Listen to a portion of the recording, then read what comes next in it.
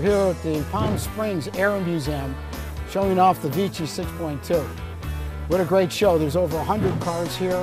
Nice fundraiser for the uh, hangar here and uh, trying to give you a little touch and feel for what's going on and here in Palm Springs. By the way, we build our cars in Palm Springs, so what a great venue. Over 100 cars and a lot of airplanes, as you can see behind me. So for those that don't know the DiMora Vicci, this is a hand-built car. It only weighs 2,800 pounds and it's handcrafted here in Palm Springs, California. This car is amazing. Take a look at the painting, you'll see it for yourself. I have a lot of unique features. Just the hood alone took 700 man hours to do. This car is really cool and I think that you're really going to enjoy it. Okay, so we're opening up the hood right now. You can see that the uh, this particular car has uh, 434 horsepower. Got a 24 karat gold firewall to it. This is all gold leaf going in here.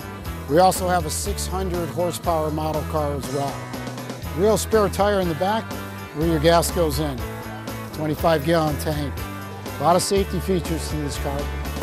And I might tell you that it's really equipped in the interior of this car with an amazing amount of equipment inside there, state of the art. So it might look like a 30s car, but she is state of the art car.